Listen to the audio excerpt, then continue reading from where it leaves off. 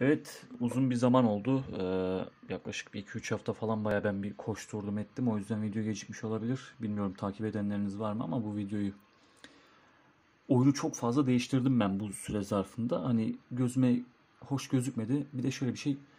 Hani oynadığımda tam beğenmedim. Yani ben oynamıyorsam başka bir kişinin de oynamasını istemem açıkçası. Hani benim önce oynarken keyif almam gerekiyor ki ona göre bir oyun yapmak isterim. O yüzden menüyü değiştirdim. Oyun içerisindeki e, gidişatı değiştirdim. Mekanikleri değiştirdim. Gayet güzel, eğlenceli bir oyun çıktı ortaya. E, neler yaptık? Hemen onlardan kısaca bahsedeyim. Menüyü şu şekilde yaptım. Bu arada artık oyun e, yatay şekilde değil. Hani ilk oyunumuz şöyle e, nasıl söyleyeyim? Yatay şekilde oynanıyordu. Hani alanı daha iyi görebilmek için yapmıştım ben bunu. Bir de hani skill'lere falan tıklarız diye düşünmüştüm ama sonradan dedim hani sonuçta bir PUBG tarzı Battle Royale oyunu yapmıyoruz. Hani yanlamasına bir oyun olmasına gerek yok. Hyper casual oyun olduğu için böyle bir dikey portrait e, oynanış daha güzel olur diye düşündüm. Menümüz bu şekilde oyuna başlayabiliyorsunuz. Birkaç level ekledim. Levellere gidebilmeniz için diğer levelleri tamamlamanız gerekiyor öncelikle.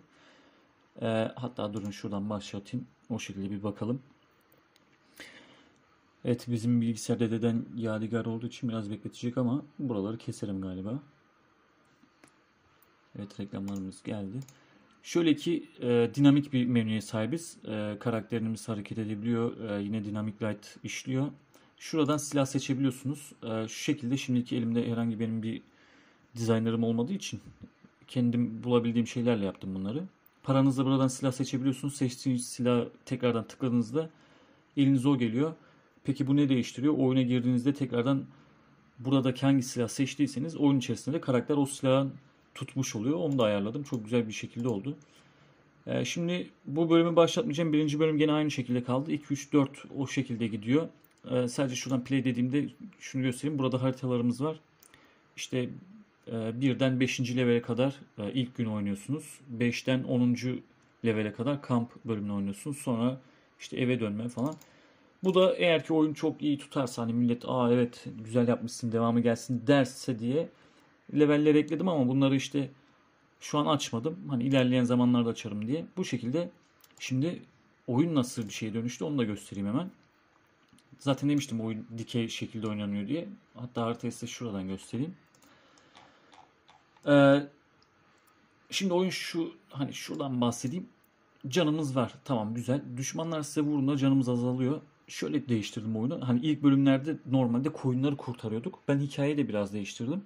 Şu şekilde yaptım. Biz çoban olduğumuz için bizim koyunlarımızı çalmış olsunlar diye düşündüm ben. Ve biz bu çalınan koyunlarımızı, ineklerimizi geri topluyoruz e, düşmanlardan, köylülerden. Bu şekilde bir dizayn yaptım ve de şöyle bir şey. Canınız azaldığında e, köylülerin çaldığı koyunları geri alırsanız canınız artıyor. E, oyunda ayrıca e, inek ve at da var. E, neden böyle çok hızlı anlatıyorum? Çünkü bir öncelik yapmadım. Hani bir herhangi script yazmadığım için. Neyse kusuruma bakmayın.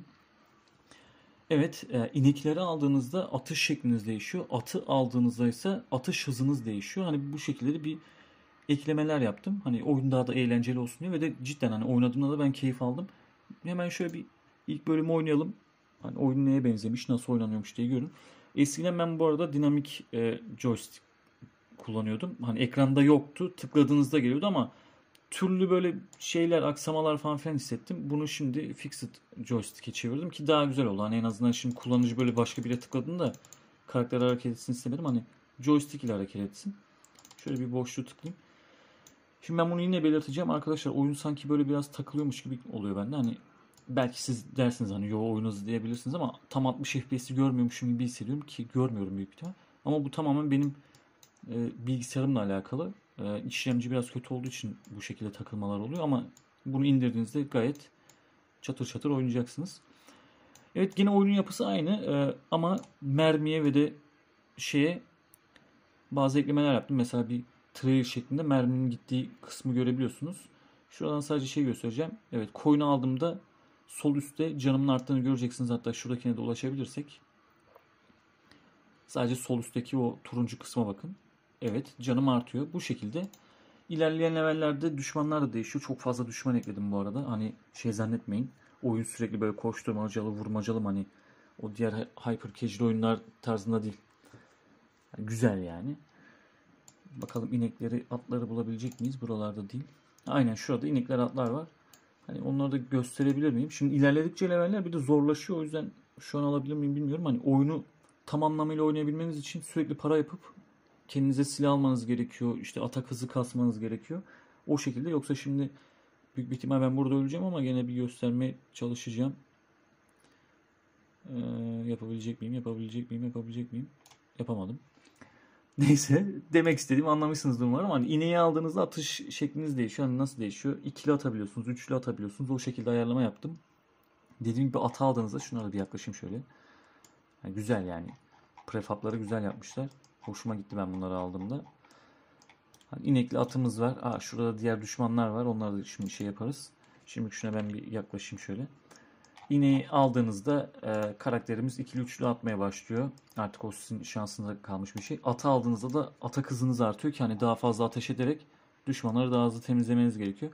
Platformlar hep aynı şekilde değil. E, her levelde platformlar değişiyor. Şu şekilde göstereyim. E, platformlar değişiyor. Yani sona ulaşmanız gerekiyor. Bütün bölümleri de göstermeyeceğim tabii. Hani size de sürpriz olsun. Ama güzel, eğlenceli. Ben gayet sevdim. Oynarken de keyif aldım. Yani oynattırıyor kendisini. O şekilde diyelim ve bu videoyu da bitirelim. Ha şunu da söyleyeyim. Oyun tamamen bitti arkadaşlar. Bunu artık Google Play'e atabilirim. Şimdiden izlediğiniz için, abone olduğunuz için teşekkür ediyorum. Bu arada yeni bir oyunum da var. Diğer videoda da onu tanıtacağım. Hepiniz hoşçakalın.